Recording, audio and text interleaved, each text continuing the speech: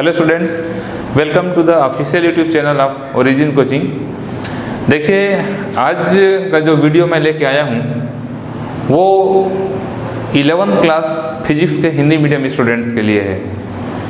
Actually हमारे channel में आप लोगों ने देखा भी होगा यदि तो इंग्लिश मीडियम के कंटेंट्स हैं इलेवंथ क्लास के इंग्लिश मीडियम के फिजिक्स के बहुत सारे कंटेंट्स हमने डाला हुआ है।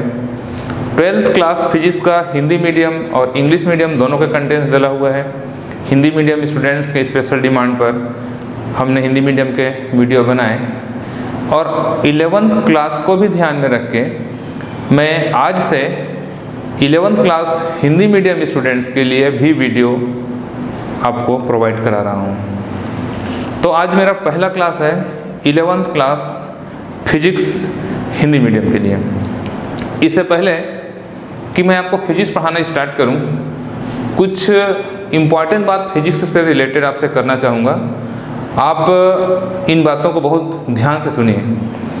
देखिए, जब आप टेंथ क्लास पास करके आते हैं आफ्टर टेंथ क्लास हम अपना अलग अलग स्ट्रीम डिसाइड करते हैं। कोई आर्ट्स पर ह्यूमैनिटीज़ पर जाता है, कोई कॉमर्स लेता है, कोई साइंस लेता है। तो जो स्टूडेंट साइंस लेते हैं with mathematics mathematics or bio या तो आप बायोलॉजी लेते हैं, या तो मैथमेटिक्स लेते हैं। तो आपको फिजिक्स का सब्जेक्ट पढ़ना पड़ता है। टेंथ क्लास तक आप जो साइंस पढ़े हुए होते हैं, उस साइंस में आप फिजिक्स का पोर्शन पढ़े होते हैं, लेकिन एक जनरल साइंस की तरह। इलेवंथ क्लास से आपका फिजिक्स एक स्पेशल सब्जेक्ट हो जाता है। तो मैंने अपने प्रीवियस एक्सपीरियंस में, अपने क्लास में देखा है कि इलेवंथ जब इलेवंथ क्लास में जब स्टूडेंट्स आते हैं तो स्टार्टिंग में उनको फिजिक्स में बहुत प्रॉब्लम महसूस होता है। और उस प्रॉब्लम के क्या वजह हैं? और उन प्रॉब्लम को कैसे दूर करना चाहिए, ये मैं आपको सबसे पहले थोड़ी देर आपसे डिस्कस करूँ, फिर आपको पढ़ाना स्टार्ट करूँगा। तो फिजिक्स समझने के लिए जो सबसे इंपॉर्टेंट बात होती है, वो है आपका मैथ्स आपका जो मैथ्स है, गणित का जो पोर्शन है आपका, वो स्ट्रांग होना चाहिए। क्योंकि जब तक आपका मैथमेटिक्स अच्छा नहीं है आप फिजिक्स ढंग से नहीं समझ सकते। खासकर जो स्टूडेंट बायो वाले होते हैं, उनको फिजिक्स में कुछ ऐसे मैथमेटिक्स की आवश्यकता होती है, जिसको उन लोग टेंथ क्लास तक नहीं पढ़े होते। जैसे कैलकुलस कलन वेक्टर एल्जेब्रा बीज गणित ये सब कुछ ऐसे मैथमेटिक्स हैं, द्विपद प्रमेय बाइनिमल थ्योरम जिसके बिना आप फिजिक्स को समझ नहीं सकते। लेकिन आप टेंथ तक उसको पढ़े भी नहीं होते।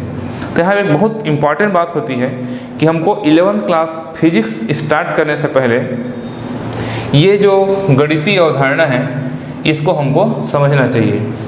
तो इसके लिए आपको मेरे चैनल में basic mathematical concept physics mathematics for physics करके मैंने पाँच वीडियो डाला हुआ है।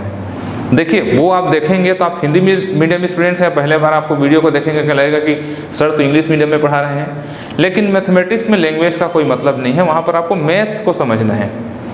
फिजिक्स समझने के लिए हमको इंग्लिश मीडियम के लिए अलग वीडियो बनाने पड़ते हैं और हिंदी मीडियम के लिए अलग वीडियो बनाने पड़ते हैं। लेकिन मैथमेटिक्स को कंबाइन पढ़ा जा सकता है, क्योंकि उसमें लैंग्वेज बहुत ज़्यादा इंपॉर्टेंट नहीं होता और जहाँ ज़रूरत है वहाँ पर मैं दोनों लैंग्वेज में उसको बता देता हूँ। तो आप सभी स्टूडेंट्स से मेरा पहला रिक्वेस्ट ये है, मेरा पहला सजेशन है आपको कि सबसे पहले आप इस वीडियो को देखने के पहले या इस वीडियो को देखने के बाद इमीडिएट बारी बारी से वो फाइव वीडियो मैंने जो डाला हुआ है, आप प्लेलिस्ट में जाइए। आप हमारे चैनल के प्लेलिस्ट में जाइए और प्लेलिस्ट में जाने के बाद मैंने अलग से उसके लिए प्लेलिस्ट बनाया हुआ है, जिसमें लिखा हुआ है मैथमेटिकल टूल्स या मैथमेटिकल कॉन्सेप्ट फॉर फिजिक्स का हेडिंग देख के परेशान मत होना, इंग्लिश का कंटेंस है करके मैथ्स का कंटेंस है, आपको भी वो समझ में आएगा। और एक मेरा आपसे रिक्वेस्ट है कि वो वीडियो देखने के बाद यदि आपको किसी प्रकार की परेशानी आती है या आपको कहीं पर कुछ ऐसा लगता है कि हमको समझ में नहीं आ रहा है तो आप मेरे कमेंट्स बॉक्स में ज़रूर कमेंट्स करिए। मैं आपके कमेंट्स ध्यान से पढ़ूँगा, आपको रिप्लाई करूँगा और मैं बताने की कोशिश करूँगा आपको कि आप वहाँ से कैसे पढ़ेंगे। तो कोई भी प्रॉब्लम आता है तो आप मुझसे ज़रूर शेयर कीजिए। क्लियर तो फिजिक्स समझने से पहले आपको ये फाइव वीडियो जो मैथ्स पर बेस्ड है, वो आपको देखना है। अब हम स्टार्ट करते हैं, ये देखने। इसको ऐसा नहीं है कि आपको अचानक कर लेना है। ये five video one by one देखते रहिए। देखिए कि इंपॉर्टेंट बात है, अचानक आज से ही हमको ये पूरे मैथमेटिक्स की ज़रूरत पड़ेगा, ऐसा नहीं है। ये मैथमेटिक्स का जो हमारा वीडियो है for eleventh class for twelfth class eleventh का फिजिक्स ट्वेल्थ का फिजिक्स प्लस यदि आप नीट स्टूडेंट यदि आप मैथमेटिक्स के स्टूडेंट हैं तो आईआईटी के लिए या नीट के लिए, जिसके लिए भी आप करेंगे, सबके लिए कंपलसरी सबके लिए मतलब ये बेस है। ये फिजिक्स का बेस है। तो इसको आप क्या है? आराम से देखते रहिए और बार बार उसको रिविज़न करते रहिए। ऐसा नहीं कि आपको अचानक वो आपसे प्रिपेयर नहीं हो पाएगा, आप उसको धीरे धीरे करते रहिए और साथ में फिजिक्स पढ़ते रहिए। तो हम स्टार्ट करते हैं अपना फिजिक्स देखिए, आपका इलेवंथ क्लास में फिजिक्स का जो पहला चैप्टर है, वो है फ़िज़िकल वर्ल्ड, भौतिक जगत। जिसको अलग से वीडियो बनाने का मेरे को ज़रूरत नहीं है। मैं आपको बस ऐसे ही दो मिनट में बता देता हूँ। भौतिक जगत जो पहला चैप्टर होता है, उसके लिए कोई अलग से वीडियो की आवश्यकता नहीं है। वहाँ पर सिर्फ़ ये बताया गया है कि व्हाट इज़ फिजिक्स फिजिक्स क्या है? फिजिक्स सब्जेक्ट में हम क्या पढ़ते हैं? That is only introduction of the physics वो केवल फिजिक्स का एक इंट्रोडक्शन है कि फिजिक्स क्या है? फिजिक्स विज्ञान की वह शाखा है जिसमें हम प्राकृतिक घटनाओं और उनके कारणों का अध्ययन करते हैं। फिर फिजिक्स के ब्रांचेस कौन कौन से हैं? फिजिक्स दो पार्ट में बटा हुआ है। एक कहलाता है मूल क्लासिकल फिजिक्स चिर सम्मत भौतिकी, दूसरा कहलाता है मॉडर्न फिजिक्स तो ये सब आप अपने टेक्स्ट बुक से रीडिंग करिए, आपको सब समझ में आ जाएगा। मेन टॉपिक जो आपका फिजिक्स के लिए स्टार्ट होता है, वो है हमारा जो हेडिंग हम डाल के रखे हुए हैं, मापन। मापन मीन्स मेज़रमेंट तो मापन से मैं आपको पढ़ाने स्टार्ट करता हूँ। तो देखिए, मापन एक्चुअल में है क्या? मापन का मतलब क्या है? ये बात आपको स्पष्ट रूप से पता होगा कि इस पूरे संसार में, पूरे ब्रह्मांड में जितने भी भौतिक चीज़ें हैं, उनको जब तक हम मेज़रमेंट नहीं कर सकते, माप नहीं सकते, तब तक हम उसका स्टडी नहीं कर सकते। जैसे सपोज़ मेरे को कहीं बाज़ार में जाके आलू खरीदना है। तो उसको दुकानदार को मुझे को क्वांटिटी बताना पड़ेगा कि मुझे फाइव के जी चाहिए कि टेन के जी चाहिए। मुझे और कोई चीज़ खरीदना है? सपोज़ मुझे कपड़े खरीदने हैं तो लेंथ चाहिए मीटर चाहिए, कहीं ज़मीन खरीदना। मतलब यदि आपको कोई भी चीज़ अपने व्यवहार में यूज़ करना है तो आपको मापन की आवश्यकता पड़ती है। तो फिजिक्स के अकॉर्डिंग फिजिक्स का कहना है कि फिजिक्स केवल उन्हीं भौतिक राशियों का अध्ययन करता है, जिनको मापा जा सके, जिनका मेज़रमेंट पॉसिबल है। जिनका मेज़रमेंट पॉसिबल नहीं है, जिनको हम माप नहीं सकते, उसको हम फिजिक्स में पढ़ भी नहीं सकते। जैसे सपोज़ मैं बोलूँ कि मुझे भूख लग रही है तो उसको फिजिक्स में नहीं पढ़ा जा सकता। क्यों? क्योंकि हम भूख को मेज़रमेंट नहीं कर सकते। मैं बोलूँ, मुझे नींद आ रही है तो फिजिक्स का मैटर वो नहीं हो सकता। क्यों? क्योंकि नींद को हम मेज़रमेंट नहीं कर सकते। लेकिन मैं बोलूँ, ये मेरा चाक है। तो ये फिजिक्स का मैटर हो सकता है। क्यों? इसका हम द्रव्यमान, इसकी लंबाई, इसकी मोटाई, इसका घनत्व तो हर चीज़ माप सकते हैं। तो ये बात आपको समझ में आ गया होगा कि भौतिक, भौतिकी केवल उन चीज़ों का अध्ययन करता है जो, जिनका मापन संभव हो। अब हम यहाँ पर देखते हैं कि मापन की आवश्यकता हमको मापन की आवश्यकता क्यों होती है? मापन की आवश्यकता नीड फॉर मेज़रमेंट मापन का ज़रूरत क्यों पड़ा होगा? एक सामान्य सी बात है, जब साइंस ने डेवलपमेंट नहीं किया था, हम आदि मानव युग में जी रहे थे तो हमको ज़्यादा मापन की आवश्यकता नहीं थी। क्यों? क्योंकि हमारे रिक्वायरमेंट बेसिक रिक्वायरमेंट बहुत कम थे और हमको कोई चीज़ों की ज़रूरत नहीं थी। लेकिन जैसे जैसे साइंस ने डेवलपमेंट किया जैसे जैसे सिविलाइजेशन हुआ जैसे जैसे सभ्यता आगे बढ़ती गई तो क्या हुआ? मापन की आवश्यकता पड़ी। कैसे? सपोज़ मुझे अपने ज़मीन पर अपना कब्जा करना है कि इतना ज़मीन मेरा है तो मेरे को बताना पड़ेगा, भाई, कितनी लंबाई, कितनी चौड़ाई का? तो लंबाई का ज़रूरत पड़ा। फूड्स हमारे खाने पीने के चीज़ों को हम मेज़रमेंट करने लगे। समय को मेज़रमेंट करने लगे, दिन होता था, रात होता था, फिर हम अपने काम समय, वक्त के हिसाब से किया करते थे। इस प्रकार से धीरे धीरे हमको मापन की आवश्यकता हुई। सबसे ज़्यादा मापन की आवश्यकता वस्तु विनिमय के लिए हुआ। वस्तु विनिमय के लिए मतलब पहले जब रुपये पैसे नहीं थे तो उस टाइम में जब हमको वस्तु विनिमय करना होता था तो वस्तु से वस्तु हम विनिमय करते। जैसे मैंने किसी को कुछ पदार्थ दिया, सपोज़ किसी को मैंने राइस दिया, चावल दिया तो उसके बदले में वो मेरे को गेहूँ दिया। ऐसा मटेरियल एक्सचेंज होता था with material material to material तो मेज़रमेंट का ज़रूरत पड़ता था कि भाई कितनी मात्रा में मैंने उसको दिया और कितनी मात्रा में वो मेरे को रिटर्न किया। ये बहुत दिनों तक चला, लेकिन साइंस ने जैसे जैसे डेवलप किया तो सिस्टमेटिक मेज़रमेंट शुरू हुआ। और सबसे पहले सबसे पहले तीन भौतिक राशियों को मापने की आवश्यकता होती, पड़ी। और उसमें से पहला है लंबाई लंबाई, दूसरा द्रव्यमान और तीसरा समय। लंबाई को, द्रव्यमान को और समय को मापने का ये हमको सबसे पहले ज़रूरत पड़ा, क्योंकि ये ये हमारे लाइफ के बेसिक नीड्स हैं। बेसिक नीड्स मतलब मूलभूत आवश्यकता है। हम अपनी ज़िंदगी को चलाने के लिए इन तीजों, तीनों चीज़ों की मा, मापन का हमको बहुत ज़्यादा आवश्यकता पड़ता है। और इन तीनों चीज़ों को मापने के लिए जो प्रणाली डेवलप की गई जो सिस्टम डेवलप किया गया वो तीन सिस्टम डेवलप किया गया। पहला था सी जी एस दूसरा था एफ़ पी एस और तीसरा था एम के एस और चौथा डेवलपमेंट हुआ एस आई यूनिट इस प्रकार से इनको मापने की तीन प्रणाली डेवलप हुई, जिसमें ये सी फार सेंटीमीटर है। मतलब इसमें जो पहला आपको दिखाया गया है, लंबाई मापने का है, दूसरा क्या है, द्रव्यमान मापने का है, और तीसरा क्या है समय मापने का है। तो सीजीएस का मतलब होता है सेंटीमीटर ग्राम सेकंड प्रणाली। मतलब लंबाई को मापा गया सेंटीमीटर से, द्रव्यमान को मापा गया ग्राम से, और समय को मापा गया सेकंड में। इसके बाद सेकंड प्रणाली जो डेवलपमेंट हुआ, वो हुआ फूट पाउंड सेकंड। लंबाई को फुट से, द्रव्यमान को पाउंड से और समय को सेकंड से ही मापा गया। तीसरा प्रणाली जो डेवलप हुआ, वो एक्चुअल में सी जी एस का ही विस्तृत रूप था ये। हम लंबाई को सेंटीमीटर के बजाय मीटर में मापने लगे। हम द्रव्यमान को ग्राम के बजाय किलोग्राम में मापने लगे। के फर के जी और समय को तो सेकंड से ही मापा गया। और एस आई सिस्टम क्या है? ये फ्रांस के सेवरा देखिए ये जो तीन प्रणाली हमारे पास थे, उसमें कुछ कुछ प्रॉब्लम आने लगा। कैसे? कोई कंट्री इसको फॉलो करता था, कोई कंट्री इसको फॉलो करता था, कोई इसको फॉलो करता था। तो एक्सपोर्ट इम्पोर्ट में प्रॉब्लम होता था। सपोज़ हमने किसी कंट्री को कोई चीज़ एक्सपोर्ट किया और उसको हमने मेज़रमेंट करके फूट में दे दिया। और वहाँ पर फुट का सिस्टम नहीं चलता, वहाँ पर मीटर चलता है तो उनको प्रॉब्लम हुआ।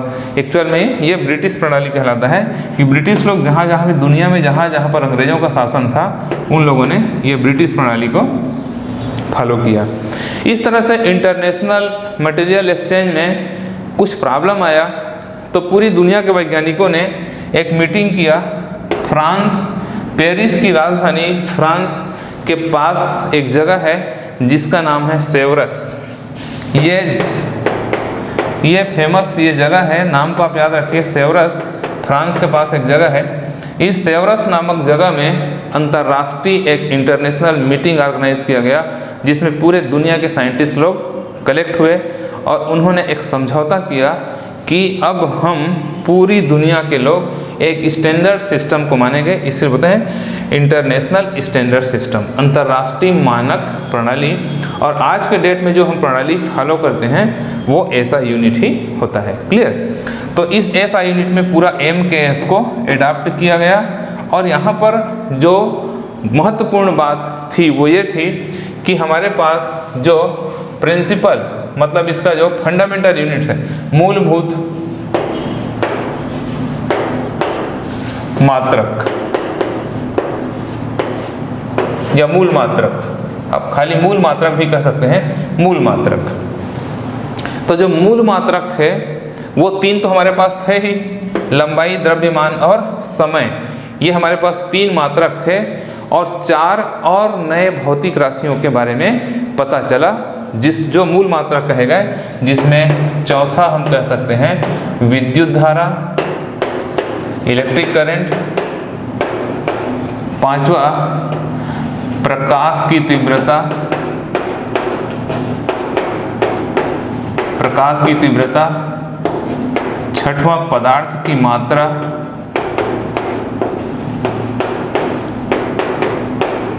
और सातवां, ताप। ये, इसका क्रम आगे पीछे कर सकते हैं आप।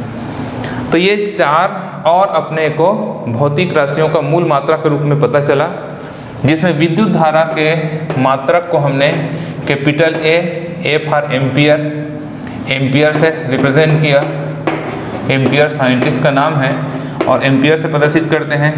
प्रकाश की तीव्रता को कैंडला सी डी कैंडला जिसको सी डी से प्रदर्शित करते हैं, उससे प्रदर्शित किया गया। पदार्थ की मात्रा को मोल एम ओ एल मोल।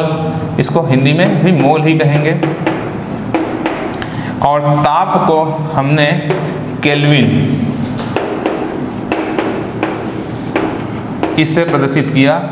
और ये कहलाए मूल मात्रक। मतलब मूल मात्रक टोटल कितने हो गए? सात। लंबाई, द्रव्यमान, समय, विद्युत धारा, प्रकाश की तीव्रता, पदार्थ की मात्रा और ताप। ये मूल मात्रक कहलाते हैं। और इनको मूल मात्रक इसलिए कहा जाता है क्योंकि ये किसी अन्य पर निर्भर नहीं होते।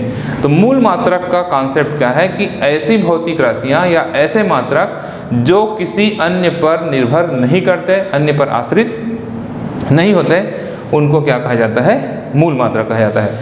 इसके बाद पूरक मात्रक। दो पूरक मात्रक बनाए गए। सप्लीमेंट्री यूनिट इसका मतलब होता है ये इंडिपेंडेंट होते हैं, ये भी इंडिपेंडेंट होते हैं। लेकिन इसके मात्रक नहीं होते जिसमें, इसका विमी सूत्र नहीं होता जिसमें पहला है कोण। कोण बराबर चाप बटे त्रिज्या और दूसरा है घन कोण। मैं आगे चल के आपको घन कोण को और डिटेल में बताऊँगा। कोण और घन कोण, जिसमें कोण का मात्रक होता है रेडियन रेडियन और इसका मात्रक होता है स्टे रेडियन स्टे रेडियन इस तरह से रेडियन और स्टे रेडियन कोण और घन कोण, ये दो पूरक मात्रक होते हैं।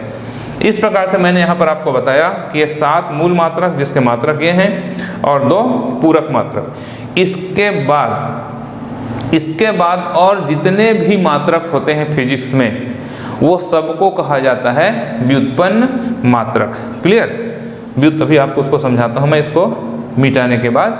तो अभी मैंने आपको बताया मूल मात्रक और पूरक मात्रक। इसको बोलते हैं फंडामेंटल यूनिट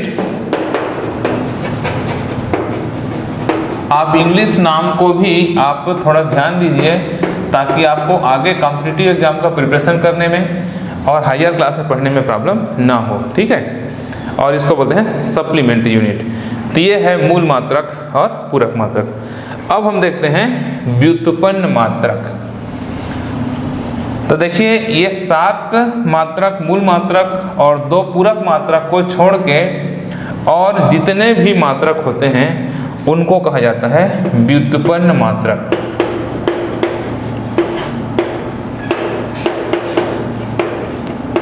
व्युत्पन्न मात्रक डिराइव्ड यूनिट नाम से स्पष्ट है। व्युत्पन्न का मतलब जो क्या हो, दूसरों से, दूसरे से उत्पन्न हो। मतलब इसका सीधा डेफिनेशन क्या हो जाएगा? ऐसा मात्रक जो मूल मात्रक की सहायता से उत्पन्न होते हैं या मूल मात्रक पर आश्रित होते हैं, उन पर निर्भर करते हैं। ऐसे मात्रक को हम क्या कहते हैं? व्युत्पन्न मात्रक कहते हैं। जैसे वेग, मान लो हमको वेग का मात्रक निकालना है तो वेग बराबर होता है विस्थापन, ये आपने पढ़ा है, विस्थापन बटे समय। ये क्या कहलाता है? मूल वितरण मात्रा कैसे होगा? विस्थापन मतलब क्या हो गया? विस्थापन मतलब लंबाई हो गया। तो लंबाई का मात्रा क्या हो जाएगा? मीटर और समय का मात्रा क्या हो जाएगा? सेकंड हो जाएगा। इसलिए हम इसका मात्रा क्या कहते हैं? मीटर पर सेकंड। या आजकल मॉडर्न फिजिक्स के हिसाब से पर सेकंड लिखने के बजाय इसको लिखा जाता है मीटर इंटू सेकंड का घात ऋण एक इस तरह से इसको लिखा जाता है मॉडर्न फिजिक्स में। वह भी सही है। तो ये देखिए, ये जो मात्रक है, वेग का मात्रक हम किसकी सहायता से निकाल लिए?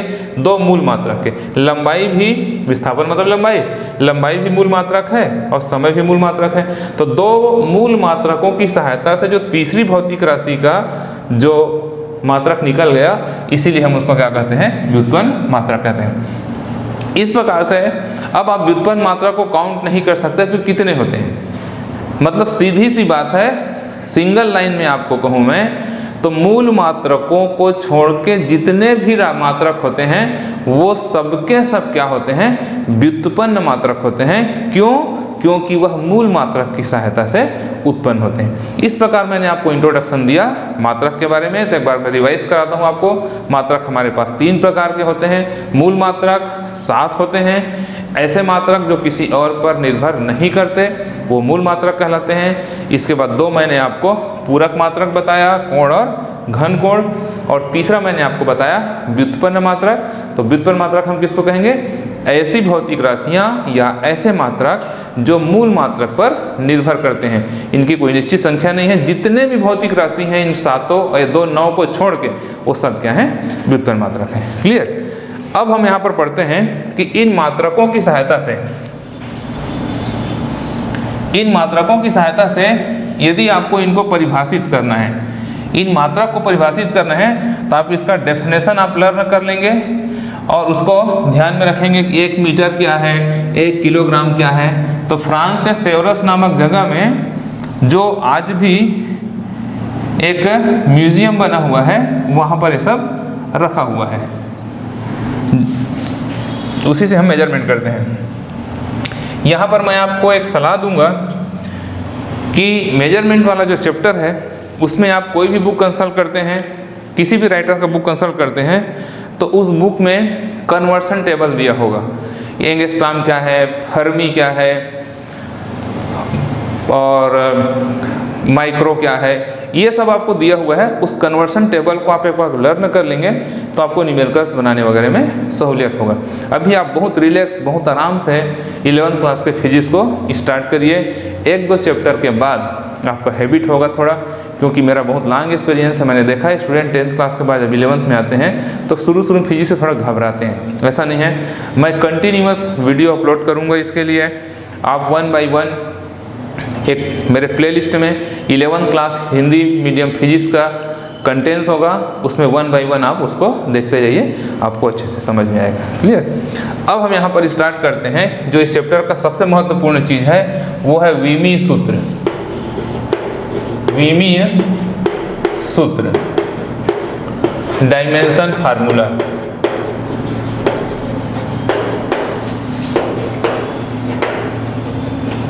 ये इस चैप्टर का सबसे इंपॉर्टेंट चीज़ है डायमेंशन फार्मूला या विमी सूत्र।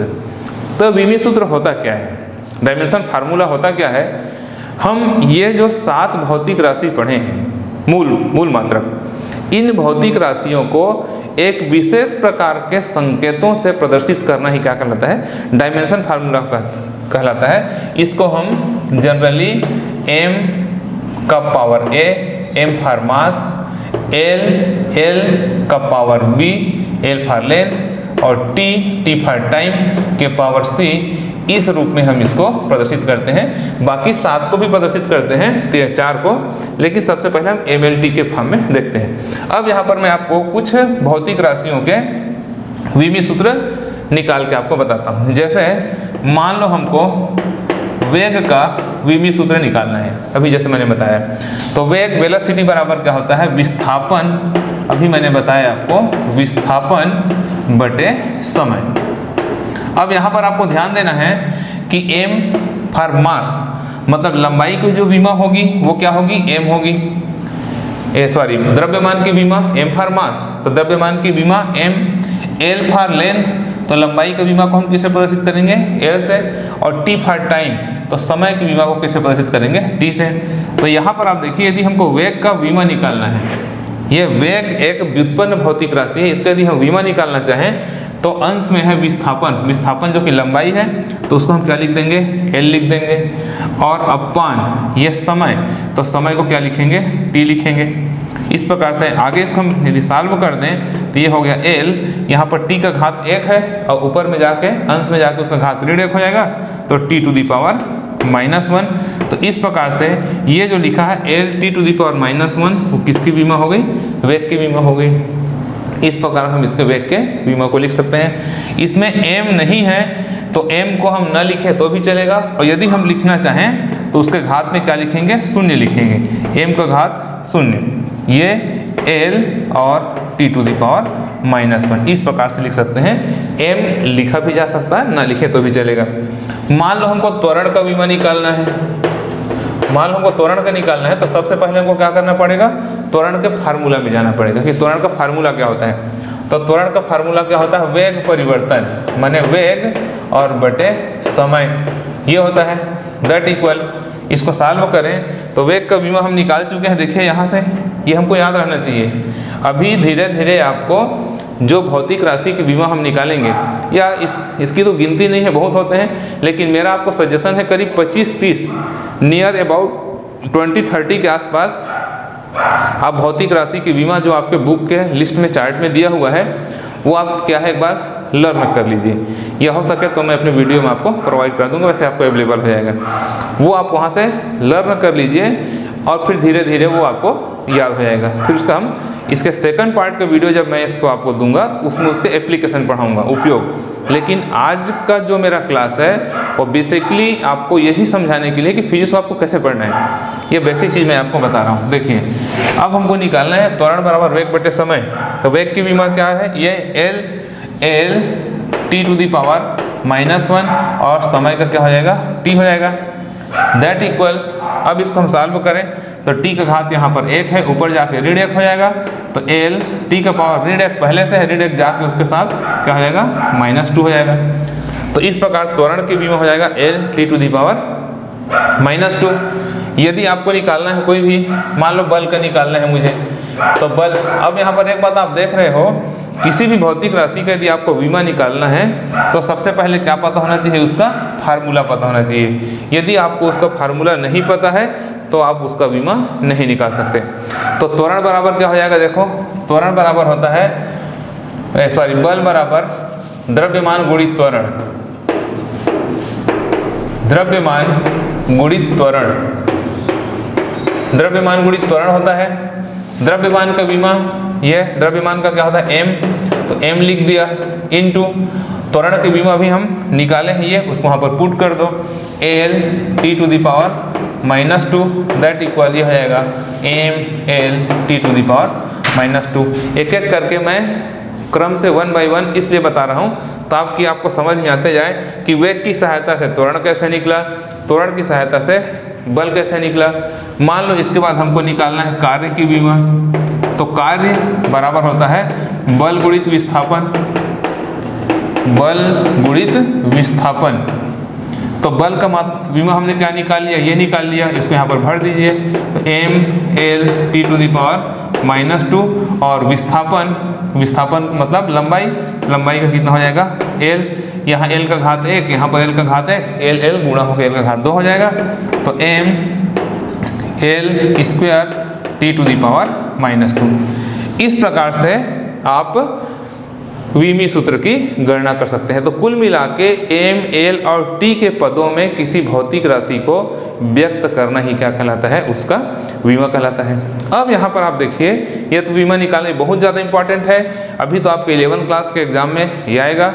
और सबसे इंपॉर्टेंट बात है, ये तो अभी मैंने शुरुआत किया है। इसके बहुत से भौतिक राशि के बीमा आपको कॉम्पिटिटिव एग्ज़ाम में भी पूछे जाते हैं। यदि आप फ्यूचर में आईआईटी नीट या जेई का प्रिपरेशन प्रॉपर करेंगे तो वहाँ भी आपको इसकी आवश्यकता पड़ेगी। मैं अपने आगे की वीडियो में और इसको बताऊँगा। अब यहाँ पर आप देखिए, ये है विमी सूत्र। अब विमी सूत्र के बाद क्या पढ़ना होता है हमको इसका? अनुप्रयोग। विमी सूत्र के एप्लीकेशन तो विमी सूत्र के एप्लीकेशन को जानने के लिए आपको कम से कम शुरुआत के कम से कम शुरुआत के 20 टू 30 20 से लेके 30 तक के जो भौतिक राशियाँ हैं, उनको, उनकी बीमा आपको लर्न होना चाहिए। जैसे मैं आपको कहूँ कि कार्य का बीमा क्या है तो आपको मौखिक याद होना चाहिए। और ऐसा आप निकालते रहेंगे। एक मिनट मेरी बात आप ध्यान देंगे। यदि आपको कार्य के बीमा का कहीं पर ज़रूरत पड़ा तो आप उसको निकालेंगे बल की सहायता से। अब आपको बल को नहीं पता है तो बल को निकालेंगे। त्वरण की सहायता से। अब त्वरण को नहीं पता है तो वे तो वेग से यदि हम कार्य के बीमा को निकालें, तब तो यही करते रहेंगे। फिर हम कैसे परफॉर्म कर पाएँगे? कॉम्पिटेटिव एग्ज़ाम या न्यूमेरिकल्स प्रॉब्लम में? तो मेरा आपको सजेशन है कि स्टार्टिंग के कुछ भौतिक राशियों को आप लर्न कर लीजिए, उसको याद कर लीजिए। क्लियर तो जैसे मैं आपको कहूँ, कार्य की बीमा क्या है तो आपको तुरंत पता होना चाहिए कि, सर, कार्य की बीमा एम एल का घात दो टी का घात ऋण दो ऋण दो होता है। तो आप जब न्यूमेरिकल्स बनाएँगे तो बहुत आप सॉल्व कर पाएँगे। क्लियर इस तरह से आपको इसको पहले लर्न करना है। आज हिंदी मीडियम का फिजिक्स का मेरा पहला वीडियो है इलेवंथ क्लास के लिए। ट्वेल्थ का तो मैंने बहुत सारा वीडियो बना लिया है पहले से। ट्वेल्थ बोर्ड क्लास है करके मैंने, फिर इलेवंथ क्लास में टाइम का प्रॉब्लम था, अब स्टार्ट किया हूँ। और इलेवंथ क्लास का इंग्लिश मीडियम का बहुत सारा वीडियो मैंने पहले से डाल दिया हुआ है। हिंदी मीडियम में अभी स्टार्ट कर रहा हूँ। तो आज के कंटेंट्स में मैं आपको बहुत ज़्यादा पोर्सन नहीं दे रहा हूँ। मैं चाहता हूँ कि धीरे धीरे धीरे धीरे आप उसमें प्रैक्टिस में आएँगे। लेकिन बहुत जल्दी जब इसका आप मेरा सेकंड पार्ट देखेंगे, उससे पहले आपको मेरा एक सजेशन है कि कम से कम 20 से 30 भौतिक राशि के बीमा आप याद कर लीजिए, क्योंकि इसके बाद के वीडियो में मैं आपको पढ़ाने वाला हूँ, विमी सूत्र का अनुप्रयोग। मैंने उसका फिजिक्स में उपयोग किया है, जो 100 परसेंट आपके एग्ज़ाम में आता है। तो ये चैप्टर बहुत छोटा है, लेकिन मैं दो वीडियो में इसको इसलिए प्रोवाइड कराऊँगा, ताकि आप उसको बहुत आसानी से लर्न कर सकें। तो आपको इसका लिस्ट आपके बुक में मिल जाएगा। जो भी बुक आपके जो भी एनी वन कोई भी बुक आपके पास होगा उसमें एक ऐसा चार्ट दिया होगा, इस तरह से। इस चार्ट में यहाँ पर भौतिक राशि का नाम लिखा होगा, फिर वहाँ पर उसका सूत्र लिखा होगा और फिर उसका वीमा लिखा होगा। तो ये आप क्या लर्न कर लीजिए? नियर अबाउट ट्वेंटी थर्टी के आसपास। ताकि मेरा सेकंड वीडियो देखने से पहले आप उसमें तैयार रहेंगे तो आपको बहुत अच्छे समझ में आएगा। इस तरह डियर स्टूडेंट्स मेरा आपको सजेशन है कि आप अब इलेवंथ क्लास में डिसाइड कर लिए हैं कि आपको साइंस लेना है तो फिजिक्स आपको पढ़ना होगा। और बिगिनिंग से आप शुरुआत से ही कॉम्पिटिटिव एग्ज़ाम को ध्यान में रख के इसका तैयारी करिए। मैं आपको कंप्लीट कोऑपरेशन, कोऑपरेट करूँगा और आपको किसी भी तरह का प्रॉब्लम हो तो आप मेरे चैनल के कमेंट्स बॉक्स में ज़रूर लिखिए और आप चैनल को सब्सक्राइब करिए ताकि आपको कंटिन्यूस मेरा वीडियो मिलता रहे। Okay, thank you.